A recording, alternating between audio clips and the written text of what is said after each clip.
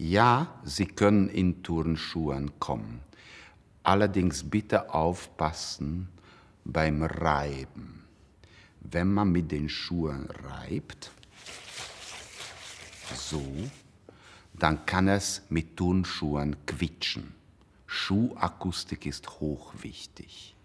Allerdings haben Turnschuhe auch Vorteile gegenüber zum Beispiel Frauenschuhen mit hohen Absätzen, die so laut klingen können,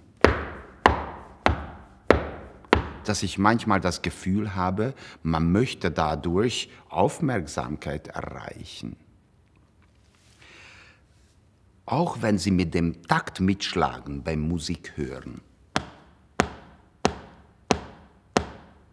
So sind Turnschuhe besser, weil sie leiser sind.